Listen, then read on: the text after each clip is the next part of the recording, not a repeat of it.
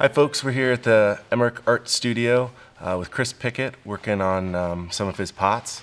And uh, we just finished up a workshop with the students. So, Chris, you've discussed that you've worked in lots of different mediums in undergrad and exploring painting and drawing and sculpture and ceramics.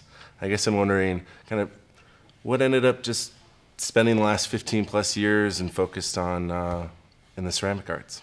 Um, I don't know if you want to ask me that question. Like, uh, like that's the thing. Like, some people love clay, like want to marry it, kind of love it. You know, mm-hmm. like oh clay. Like, like the medium itself is like it's like this sort of like it's just like this cycle that feeds through. It is the inspiration.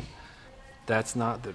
That's not the case for me. I like. I really like clay, um, and I this is this is a, a bizarre question because I think I, I, don't think this is necessarily like like a question like straight up. I'm sure this happens in lots of different medias, but some people are like, you know, the, it's like almost like this like romantic story. It's like I remember the time like me and first Clay met. You know, like me and Clay first met.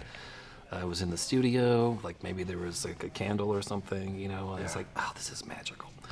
Um, it wasn't so much like the, I don't know, like like Sunshine, like I mean, that book she's coming out with, you know, like they asked that exact same question.